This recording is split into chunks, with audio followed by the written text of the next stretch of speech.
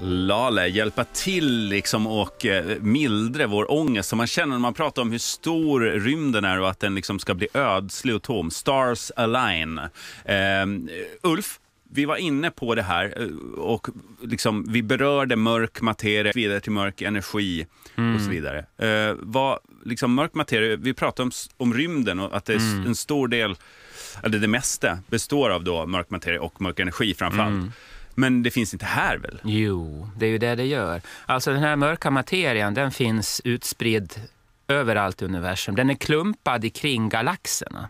Men den är ganska väl utsmetad inom galaxerna. Och det innebär att den finns också här, i detta rum. Ja, det känns väldigt mycket som att han menar de mig här nu. partiklarna, va, de far då snabbt igenom rummet här. Det kanske rör sig om hundratals kilometer per sekund eller någonting sånt där. Så Blir så fort. genomborrade Och just vi nu. blir genomborrade, jorden blir genomborrad utav dem. Och storleksordningen några miljarder sådana här mörkmateriella partiklar per sekund Mm. passerar genom våra kroppar. Har man någon aning av alltså, vad, vad dess syfte är? Mörk materia. Ja, syfte och syfte. Men det måste ju vara för att det ska vara i kontrast till någonting antagligen. Till ljus materia. Eller menar du funktion? Ja, men Menar du, menar du att det finns någon funktion? Vad vill Ja, men Till exempel- medveten funktion i det. Vad man kan säga är att den, den fyller en funktion så tillvida att den hjälpte till att skapa galaxer i början utav vårt universums historia. Mm. Den gjorde att den övriga materian kunde klumpa ihop sig och bilda galaxer. På Okej. så vis var den väldigt viktig. Vadå, reagerar de mot varandra på något sätt? Ja, den Alltså, hjälpte till varandras- med sin dragningskraft. Liksom Okej. Hjälpte an, vanliga materien att klumpa ihop sig på ett sätt som den annars inte skulle göra för att skapa just galaxer. Så på det viset så är den betydelsefull då. Men det låter som att den rör sig väldigt snabbt. Har den bråttom? Alltså man blir Nej, det är samma hastighet som solen rör sig ju tillsammans med solsystemet eh, med en hastighet på ett par hundra kilometer per sekund runt Vintergatans centrum, 200 miljoner år på ett varv. Och den här mörkmaterian, den rör sig på ungefär samma sätt, va? fast kommer från lite olika håll. Passerar Mm. rakt igenom oss. vad gör den med oss? Ja, alltså faktum är att det beror på lite grann av vilka egenskaper de här partiklarna har. Men det kan vara att eh, emellanåt så krockar någon av de här partiklarna också med oss. Det finns uppskattningar om att det kanske är några gånger under ett, eh, per år eller kanske till någon gång per minut. Och nu menar du, där, när du säger krocka med oss, för du- vi genomborras hela tiden, men då åker emellan? Men, Nej, nej, alltså åker i oss hela tiden. Va? Ja. Men ibland så kan den krocka också med någon atom i vår Ja. kropp. och så. Vad Precis händer då? ingenting särskilt. Det är, alltså, det är en slags strålning kan vi säga. Då. Men den är mycket, mycket mindre då än den vanliga eh, bakgrundsstrålning och det som kommer från annan kosmisk strålning och sånt. Som, Som heter Sivert. ja, vem, vem heter Sivert? Sivert Matt. var någon dude som kom på det. Rolf Jaha. Sivert. en Sivert-ställning. uppmätning av hur mycket strålning som, eh, som upptas av våra kroppar. Och en liten, liten, liten, liten försvinnande liten, liten del kan också komma från den här mörka materian. Och det är på det här Den är sättet man också försöker att se de här partiklarna. Man bygger då detektorer i syfte då att fånga in såna här partiklar för att det det kolla man vad det är. långt ner i bergrum? Ja, Och- precis. Och, så skjuts det igenom. Ja, det, det, de, de här partiklarna de går rakt igenom bergväggarna Mm. och sen förhoppningsvis in i de här detektorerna och så blir det någon liten ljusblixt eller så. Är det det du Hittills- tror kommer ske under 2014? Ja, alltså det finns en hel del sådana experiment som redan nu har, har haft lite så här mystiska signaler. Kan det här vara någonting? Man är inte riktigt säker. Kan det vara en mörk materiapartikel? Ja. Så under de närmaste året eller åren kanske man kan få någon signal på, på någonting sånt, att man har fångat upp några sådana här partiklar. Vad kan man göra med dem då, om man fångar upp dem? Alltså kan man utnyttja den här strålningen på något sätt? Eller vad? Nej, alltså det här, det här är grundläggande fysik. Man försöker förstå hur fysikens lagar fungerar. Och sen är det ju en senare fråga vad man kan använda och tillämpa sådana här saker till. Men historien visar ju att sådana här grundläggande kunskap, även om man inte har någon aning om när man gör de här experimenten, när man först försöker fundera ut hur det hänger ihop, ja, men då har någon aning om vad det ska leda till. Så långt senare, kanske många år eller kanske hundra år senare, då kommer de här tillämpningarna som kan förändra världen. Då kommer en app där det då kommer en app. Ja, Ja. Nej, vi väntar ju på det såklart. Vi skrattar Ja. nu, men se sen. ja just det. Vi, vi, eh, nu har ju alla antecknare här och vi är liksom, eh, ja, så långt är ni med där ute i Sverige. Jajamän. Alldeles strax pratar vi med kvantmekanik och strängteorin här imorgon. Imorgon pass det P3, P3 P- P1 faktiskt. Jondesson, ta, Taking it back heter melodin. Vi sitter och pratar med Ulf Danielsson, om, eh, som är professor i teoretisk fysik ska vi säga också, och Martinas eh, lagkamrat i På spåret. Om man nu undrar vilken Ulf är det här egentligen? Är det han i På spåret? Eh, Jag måste säga att jag är oerhört imponerad. Är det det? Och det här lugn, alltså det är min dröm att vara med På spåret. Ja. Eh, Och det kommer ju inte gå via då att jag blir professor i någonting sånt här utan nej, jag får väl kvoteras in för någonting annat. Just det. Sur feminist. just Det är väl det. som jag, som jag antar att jag kommer komma in på då. Vem vinner På spåret i år? Är det, är det hemligt? Ja, det är ju det. Lötgård. Alltså. Ja, tänkte man kanske gå ut med det mittemellan. Eh, Svart materia och så strängteorin och så lite vem, vem vinner ett Det heter inte svart materia, har du inte lyssnat? Det heter mörk materia. materia. Ja. Eller mörk energi. Ja, det, precis. Det är bara vi som är med på Ja. det här. Ja. Ska ni två bara förklara strängteorin lite Absolut, snabbt? börjar du. Ja. Ja. Då är det så här att eh, det finns en teori som försöker att få ihop all den kända fysiken, alla de olika naturlagarna. Kvantmekanik och gravitation och allt det här som faktiskt var och en för sig fungerar väldigt väl. Alltså fysiken för det riktigt stora, hur stjärnor och planeter rör sig har man grepp om och fysiken för en del riktigt små saker också då inom atomen och atomernas värld och så. Men att få ihop det här till en fungerande enhet har visat sig vara jättesvårt. Det blir massa orimliga, konstiga konsekvenser när man räknar på det. Och då är det strängteorin som många menar är svaret på det här, som ska få allting att fungera ihop och tillsammans. Och hur gör den det då? Jo, då gör Varför den så det här. Ja, det ska jag förklara nu. Då är det så att om du skulle ta en elektron och titta på den väldigt noga och förstora upp den, då skulle den enligt strängteorin se ut som en liten sträng. En liten tråd, en liten vibrerande liten tråd. Som har en frekvens, alltså som en... Ja, lite sådär. Va? Och lite beroende på hur de här svänger, och det är lite kvantmekaniskt eh, fluff kring det här, så tar en gestalt i form av olika typer av partiklar då, Ja. om man tittar på långt håll. Men allting ska bestå utav såna här små svängande strängar. Och det underliga är att om man då gör det antagandet och sen räknar på och låter matematiken liksom sköta resten, då visar det sig att det här funkar rätt bra. Det verkar som att de här motsägelserna löses upp.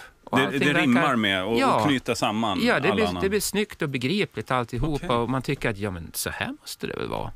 Men, men eh, då är det väl bara att säga, ja, det är strängar hörni. Tack för idag, går vi hem. Eller liksom, Ja, eller då är det vissa som problem? säger ja, men hur vet ni det då? Ja. Är det vissa som säger. Jaha. Experimentalister. Ja, lite så här Ja. surt ibland också. Det där Oj, kan man oj, väl oj. inte vara säker på.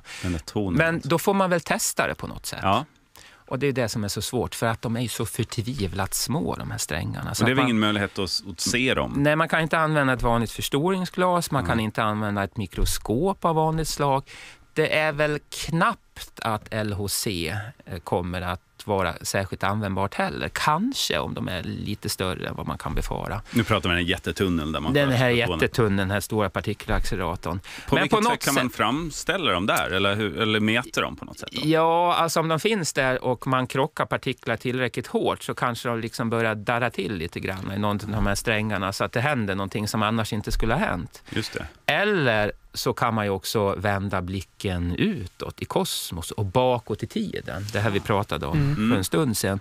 Se kanske ända tillbaka till universums skapelse, vilket man faktiskt kan göra. Genom det röda ljuset menar du? Ja, precis. det- Som det är är så rött så att det blir mikrovågsstrålning om man tittar ända tillbaka till Det är skapelsen. det jag alltid har sagt. Ja. Och den ser man nu? Den ser man nu Ja. och då kan man i struktur i den strålningen lära sig saker om vad som hände precis när vårt universum skapades. Ja. Och då var allting så extremt och energierna så höga att också effekter utav de här svängande strängarna borde göra sig tydliga. Okej, eh, Kakan, eh, du vill eh, lägga in en assistent? Var det så höga energier att människor och djur inte kunde leva?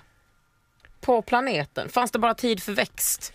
grejen var ju det att jorden inte ens fanns. Om vi nu... Ah, Okej, men nu, nu är du för flippig. För jag menar, jorden och solen och solsystemet skapades för ungefär 4 miljarder år sedan. Av Gud. Nu pratar vi Nu- Big Bang alltså. Pratar, nu är vi inne på ett annat spår här va? Eh, obs, min pappa är teolog. Vi kanske Okej. säger, eller Ja, ja. religionspsykolog. Ja, ja. Vi- Ja, jag undrar varför de inte använder det här som mörk m- materia då, eller mörk energi. Det är ju bara, Gud, tack för mig! Ja. så här. Då har man Men löst det. universum skapades för 14 miljarder år sedan och sen dröjde det alltså åtskilliga hundra miljoner år innan de första stjärnorna kom till och så vidare. Och vad var det först? Liksom? Det var bara liksom gas, eller stoff, moln utav Jävlar, gas. fan vad tråkigt att leva då. Ja, och, och saken är den också att universum under de första några hundratusen åren var inte genomskinligt. Och det gör att man kan alltså bara se tillbaka till en dimridå Ja, ja, ja. som omsluter då skapelseögonblicket. Och det här jag pratar om, att man kan se spår av vad som hände, det är då skiftningar i den här dimman kring själva Men- skapelsen. Men alltså är det, ser man det, kan man se det visuellt? Ja, du, du, kan, du kan googla fram bilder på det här som visar då... Hur det på riktigt såg Ja, ut när visst. Big Bang. Jag har Ja. sett det, det är lite flammigt. Ja, Men kan man inte ta fram en megaficklampa som kan lysa igenom det där? Någon måste ju jobba ju- på det. Nu är det ju lite... Skicka ljus dit? Du, de, Ja, men inte så Jörgen, du fattar vad jag menar. Nej. Alltså, Nej. det gör vi nog inte. nej, okej, inte en ficklampa, men något ett annat slags instrument för att kunna se det bättre. Ja, man skulle kunna försöka se det i, med hjälp av någon annan slags strålning. Precis det, Ja. det var jag menar. Ja. Till exempel eh, neutriner eller gravitationsstrålning. Allt eller det hade jag tänkt. Ja. Och det har man inte lyckats göra än. Nej, men det är En någon dag som kanske. jobbar på det kan ja, jag tänka det, mig. Man jobbar på det, det här med Mm. gravitationsstrålning. men de här pytte, pyttesmå strängarna då, då, då menar du att då ska man se så långt bort för att se vad de hade för effekt vid, vid, innan liksom, den här, den här ballongen universum blåstes upp. Ja. Vad kan man lära sig av det? Liksom, kan man se, vad Alltså, då ska man kunna testa då olika teorier, då, strängteorier och hur de påverkar hur universum expanderade och utvidgade sig under de allra första ögonblicken och få en idé om precis hur det gick till. Men innehåller inte strängteorin också en idé om att det finns en fjärde dimension? Ja, egentligen att det finns sju extra Sju dimensioner. extra? Alltså, Ja, vi har tre, stycken. tre rumsriktningar här. Va? Ja. Framåt, bakåt, höger, vänster, uppåt, neråt. Och sen har vi tiden och det Just vet det. ju alla att det är en fjärde dimension, eller hur? Ja, som är uppstår vid Big Ja. Bang. Liksom, då Ja, skapades tiden på något alltså det är va? enkelt. Ja. Fyra dimensioner, det har vi koll på. Ja. Mm. Men sen säger strängteorin att det finns sju till. Åh gud. Oj. Först, Ja, sekunder. Nej, jag skojar. först, så, först hade man bara koll på sex stycken och sen rotade man runt i ekvationen och upp den. Nej, titta här är en sjunde också. Och det har man Och, och sen kollar man lite grann till och säger nej, sju, okej, s- så många måste det vara, det kan inte vara fler. Nej. Och de sju dimensionerna, då undrar man, ja var finns de någonstans? Ja, det är vad gör framförallt, de? vad fan gör de? Ja. Och vad vill de mig? Ja, och då kan man väl kanske tänka sig så här då, att om vi nu inte ser fler än tre rum och en tid, då kan det helt enkelt bero på att strängteorin är fel. Det skulle kunna vara en väldigt enkel möjlighet. Och att det här är bara trams, det här som vi har suttit och pratat om nu. Och ändå får du lön. Slöseri Ja. på sändningstid bara. Absolut. Ja. Men eh, det kan också vara så att de finns där, men de är så små så att de inte syns. Dimensionerna? Ja, de är upprullade. Men vad skulle de kunna göra? Liksom, finns det några teorier om vad de här dimensionerna ja, skulle visst. vara? De kommer i så fall att ligga bakom och eh, avgöra egentligen hur all den fysik som vi känner i våra fyra dimensioner egentligen ter sig. Mhm. Alltså hur de här extra dimensionerna är upprullade, ihopskrynklade och har gjort sig osynliga. Det sätt som man har gjort det på avgör vilken typ av materia, vilka naturlagar vi har i vårt lägre dimensionella synliga universum.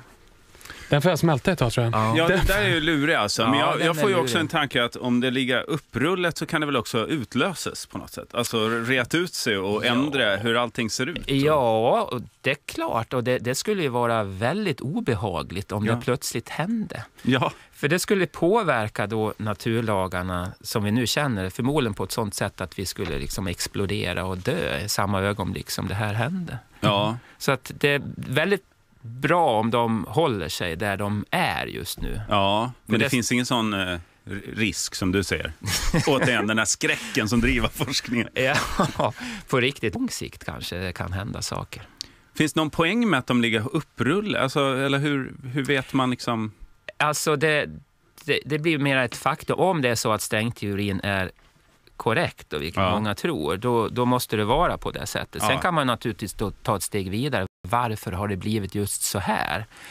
Och det skulle kunna vara mycket av en slump. Mm. Det vill säga att mycket av de naturlagar vi ser nu och, och, och, eh, som påverkar vårt, vårt liv och, och vardag och hela universum är effekten av en slump. Mm. Vilket också innebär i praktiken att då måste det väl ha gjorts kanske flera försök. Mm. Ja. Med flera olika universa som utav en slump ser ut på det ena eller andra sättet. Ja. Ja, multiversum. Men där de andra dimensionerna då är mer aktiva? Ja, då Okej. kan det vara så att ett annat universum, då är det inte tre stora rumsdimensioner utan då kanske sju, åtta eller kanske ända upp till tio stycken stora rumsdimensioner. Och naturlagarna ser ut på ett helt annat sätt. Men förmodligen, i de allra flesta av alla dessa andra universa, så finns det ingen som kan existera där och leva och bekymra sig eller tycka att det är skönt Nej. eller bra. Men eller kunde illa. vi se det så skulle vi inte känna igen det?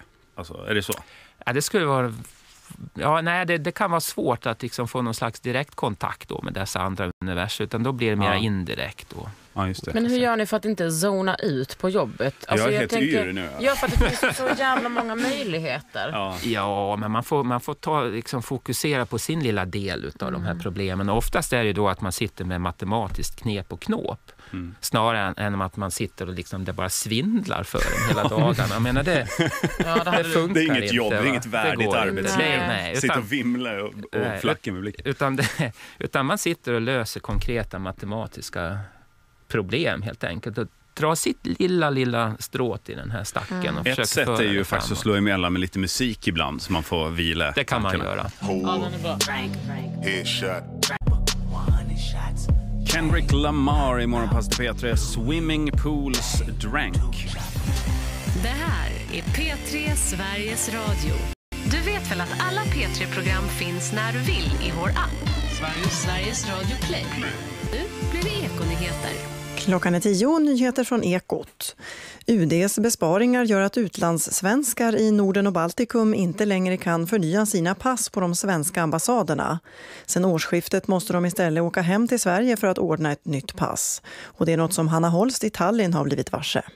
Jag tycker att det är en tjänst som en ambassad borde kunna ha. De flesta av oss, i alla fall som utlandssvenskar, vi har ju en orsak utomlands. Vi jobbar och vi har ett liv här. Det är inte lätt att bara hitta tid att ta sig hem till Sverige för en så liten detalj som att skaffa ett pass. I en månad till är Hanna Holst pass giltigt och nu måste hon resa hem och skaffa ett nytt på någon av polisens passexpeditioner. Ett pass som kommer kosta. Det blir några tusen i flygresa också. Inte bara de här 300 någonting för eh, passtillverkningen. Det är bland annat för att spara pengar som UD valt att dra in möjligheterna att förnya ett pass vid ambassaderna i Oslo, Köpenhamn, Helsingfors, Reykjavik, Tallinn, Riga och Vilnius.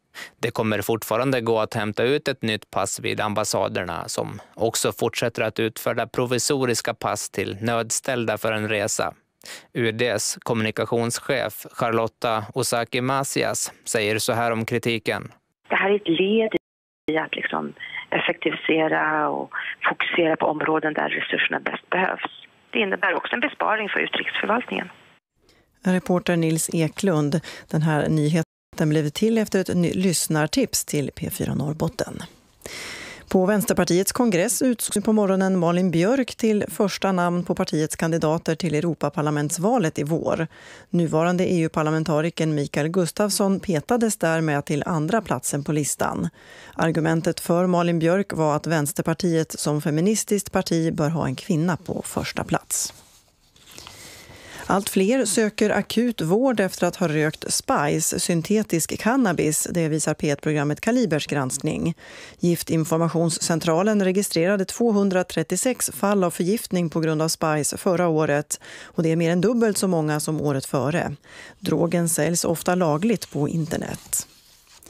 Mer än 100 miljoner kunder hos en av USAs största affärskedjor, Target, har utsatts för ett av de största dataintrången i USAs historia. Eh, någon har tagit kunders kontouppgifter, e-postadresser och annan personlig information. Över sydvästra Götaland spricker molntäcket upp idag men över norra Götaland, Öland och Gotland blir det snöfall. I västra Svealand klarnar det upp medan det i öster driver in snöbyar. Längs Norrlandskusten väntas lokala snöbyar men i övriga Norrland uppehåll och halvklart till mulet. Från några plusgrader i söder till drygt 20 minusgrader i norr. Ekots nyheter med Sara Öberg.